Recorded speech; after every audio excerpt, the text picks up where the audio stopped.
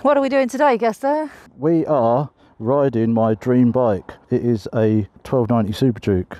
I'm absolutely in love with the looks and the sound, but I've never tried one out. And the Supermoto, because you've got to love a Supermoto. Who doesn't love a supermoto? Sure. Yeah, sexy.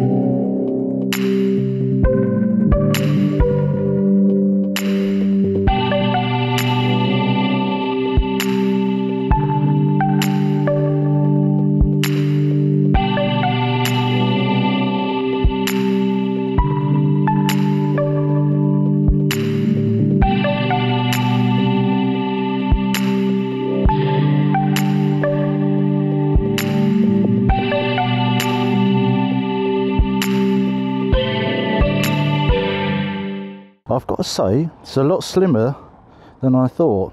Yeah, it does. It doesn't look like a 1290. Let's go this uh, to the BP, right? yeah. so this is my first time on a Super Duke. This sounds lovely. This is uh, this is very different from me though. The the foot pegs and everything are completely in a totally different area. I can't believe how smooth this is. Whoa! Oh my god. This is uh, totally different experience. It feels so weird. So weird. Yeah, it feels so weird.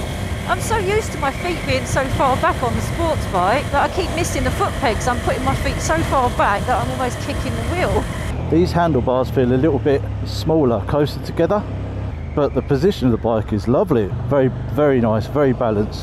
God, this this reminds me of my 17-year-old days on the old KMX 125R. This is the same sort of position.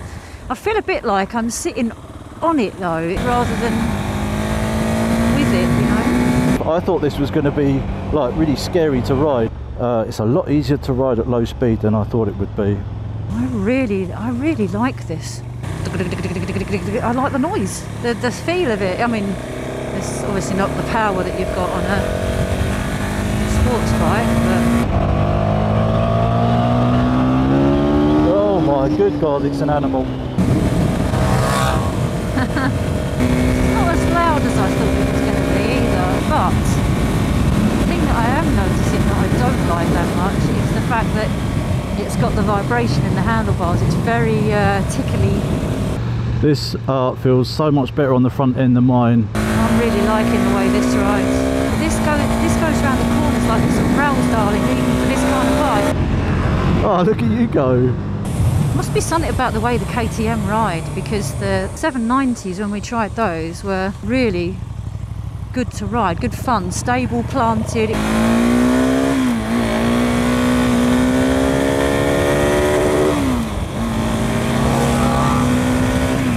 This has got so much more. It's ridiculous.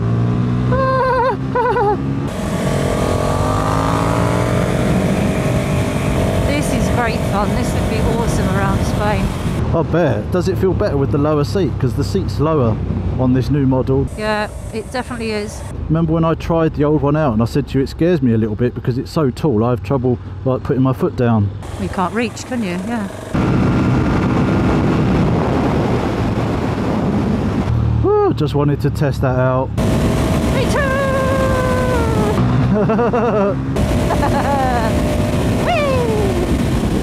Mode is very nice because it feels smooth with the power, but you know that it has a ton of it. The throttle, because I'm used to the MT-09, you reach the end of the throttle on this a lot sooner than I thought you would. Like you spin it round and it's like, oh, I'm already at the end of the throttle. Yeah, I am pleasantly surprised by the fact that this is the second KTM that I've ridden, and both of which are the only two bikes that I've actually got on and thought, oh, I could actually I could buy one of these. Oh my god! I can't believe how nimble this thing is for a 1290 and it feels nice and nice and small. A bit more shape to it. There's a ridge. So I, I feel like there's somewhere I can stick my knee in. Well whoever said don't ride your uh, dream bikes was a f***ing idiot. Why? in case it doesn't live up to what it's like in your head. Uh, brakes are pretty good. They should be. They're Brembos isn't they? Yeah. Well, they are on this anyway.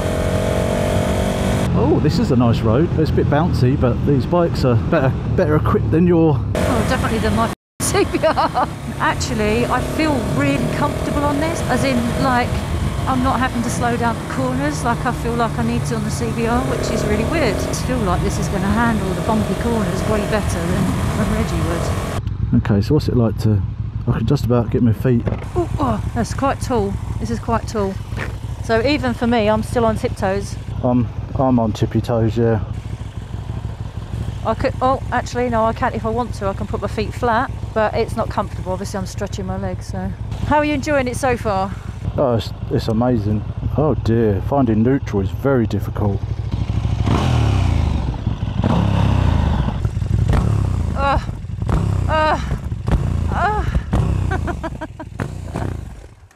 So thanks very much to the guys at uh, Braintree KTM. Jim Jim Aim. It's uh, I've always thought it was quite a big bike, but now that you actually see it in the flesh, you realise that it's quite small, especially for someone like me. I'm 5'8", uh, and I can tippy toe Five foot eight in, in shoes. comfortable. I like I like where the pegs are. It feels like a, a very nice position to ride in. Well, this sounds much better, obviously.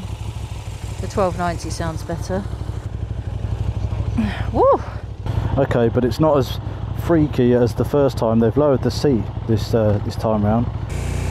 Oh, so this. Oh, oh, uh, seating position's a bit weird with your feet behind you here. Woo! Okay, so this is weird. Oh, yeah, this is very uh, flighty throttle. Uh, I've been on this for five seconds, and I definitely like the 1290 more. See, I always find these bigger engines for me, and I don't know if it's a personal preference or whether it's a girl thing, but tend to have kind of really light throttles, and you, you know, you've only got to just bounce wrong and, and catch the throttle, and they're dragging you forward like a. Ah! Although that said, I have to say this is probably one of the better ones that I've ridden. It does feel really all together. I, I don't like the way I'm sitting on this bike. I don't. Okay, so I'm supposed to sit here. I take it way more forward. There's a lot of engine braking on this bike as well, I've noticed, compared to that. So it's weird with these levers. Seriously, like odd, very odd. You should try a roundabout though. It goes round a roundabout like it's on rails. You just stick that inside leg out and go round the roundabout. You can tip it with more confidence than, than a sports bike, I feel.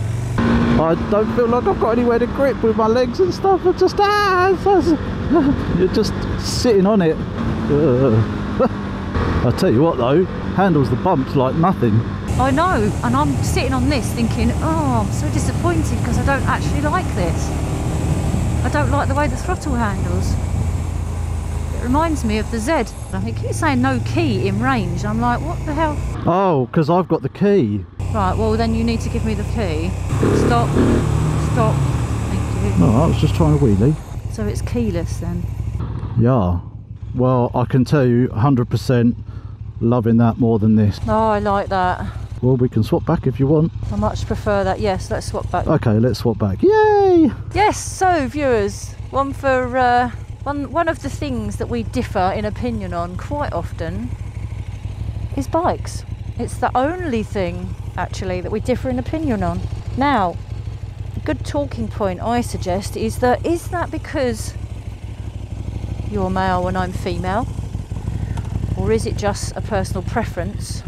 I think the fact that you're taller as well, I don't find that as scary as the old 690 because I have tried the old 690 and uh, I found it quite intimidating to be on because being five foot eight, it's quite tall.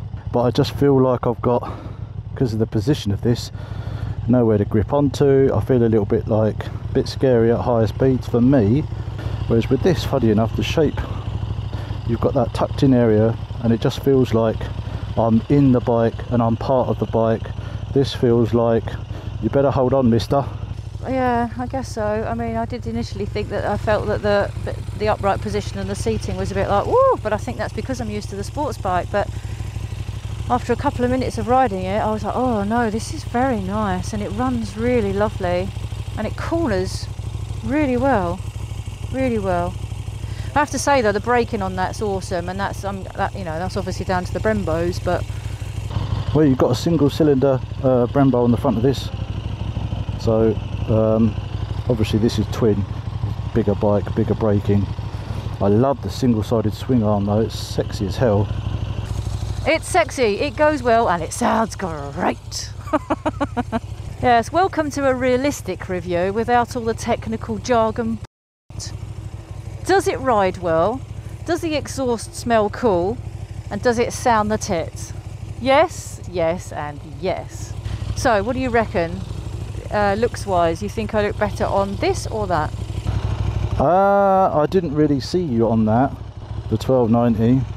You look good on that. You definitely look good on the Supermoto. You're quite tall. Emma's almost six foot tall, so she looks quite good on the Supermoto, and she can pretty much flat foot it, can't you? Mm-hmm. Right. Well, this is in sports mode, and straight away I can feel the difference. The uh, Oh, honey, you should have put it in, in mode 2 on this. Oh, oh, watch out! Oh dear. Is there someone? Oh, police aware. Christ.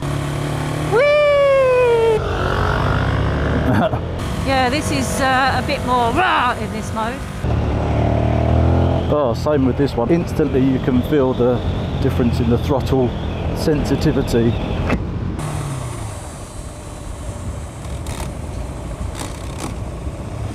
Ooh, I didn't want to go in gear then. It was like. Where are you? Just behind you. Just trying to get some uh, footage of you rolling. See you rolling. Waiting. There's a bit of squishiness before you get to the braking point on this lever. But it but once you do engage it, it's it's all brake. How much? How often do these need uh, servicing as well? Uh, those ones are like a normal bike. They're not like the uh, racing spec ones. I want one. I want a bike garage full of bikes. That has got some f- beans on it, I tell you.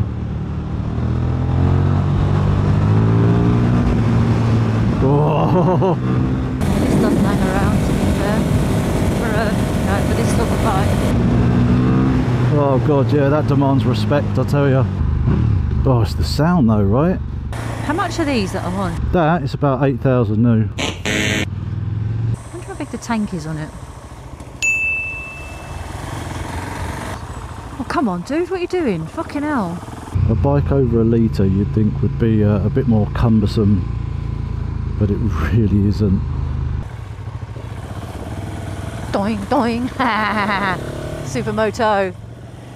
Pleasantly surprised at how light this bike is as well, because even the backing up for me on tiptoe, there's no weight in it, so it's so easy. This is very easy to ride slowly and smoothly, and that's that makes me feel comfortable and nice on it. But it also has the scare factor when you open the throttle too much, and it's so it has that side to it as well. That's a bit like you. You're a nice, comfortable ride until you open the throttle and it's got the scare factor. Whoa! What? Death Wish pigeon. it's all very, very calm and collect until you open the throttle a certain amount, then it goes.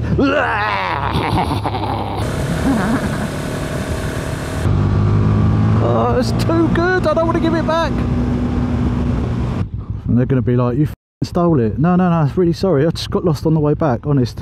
Uh huh. Yeah, yeah. Yeah, yeah, yeah, yeah. Everyone gets lost on the way back. I like it. I think I'd look cool in uh, in off-roady kind of gear. I don't want to give it back. Oh no, no.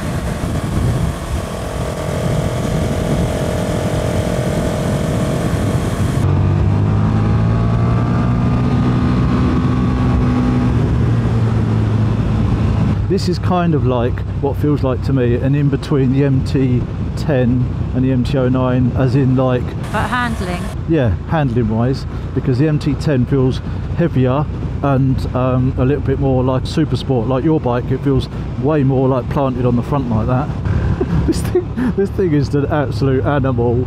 Uh, egging me on.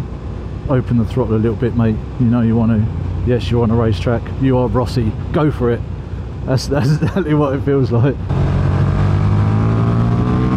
look at it go my only little gripe is the the clutch lever feels skinny. So when I'm pulling it, it feels all little and it uh, a bit slippery. Like the actual feel of the, the lever itself, not the way it works. the MT10 felt sturdier at higher speeds than this Does it? but this is so much more fun I think you like that whole not not quite sure about it kind of thing, you know. Yeah, absolutely. That's what well, that's what I love so much about the MT09. I want one of these. I want one of these. Ah, it's ridiculous. I really thought it was going to be a chunky, sloth-type manoeuvrability, but with lots of power. But it's not. This bike makes me want to take my earplugs out and suffer the consequences. This in in mode two is a much nicer bike to ride. Mode one is a bit boring. All right, so that's got more oomph, has it? Well, I don't even know what um, what one is supposed to be good and one, you know, which which one is which now because I can't remember what he said. But I feel like it rides more responsively in two, and even the seat, to be fair, is not that uncomfortable. They're like, oh my god, where have you been? Steering lock on it or what? This one has you hold the you hold the button and it locks it for you automatically. The, do you know the only thing I'm concerned on on here is this bike's got 535 miles on it, and these looking grubby already. I'll tell you what I don't like is is that that exhaust. I think is disgusting. Oh my god, we thought you'd crashed, we thought you died, what's going on? I need one. I need one.